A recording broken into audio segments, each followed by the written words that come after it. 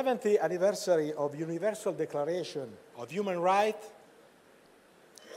we have the opportunity to ponder its first article. All human beings are born free and equal in dignity and rights. It's a moment to reflect on how much we have done to uphold the universal rights.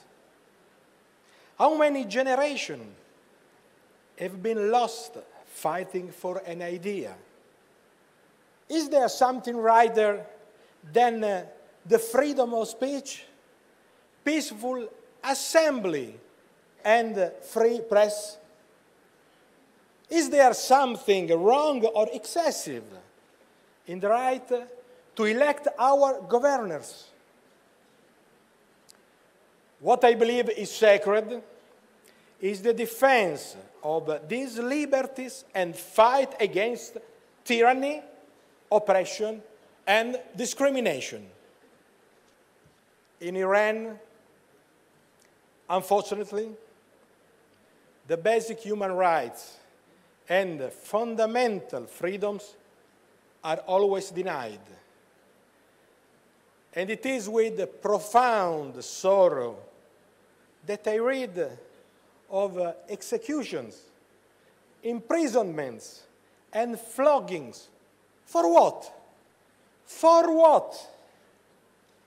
For troubling the public order and propaganda against the regime.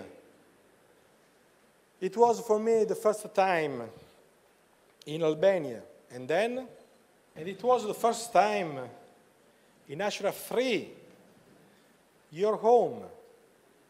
The Ashraf 3 is the best example of a community of men and women cooperating as one to bring us closer to our highest ideals. Today, during the visit in your community, in your Ashraf 3, I have learned a lot from women and men that I have met. Lessons of passion, courage, and faith in the future.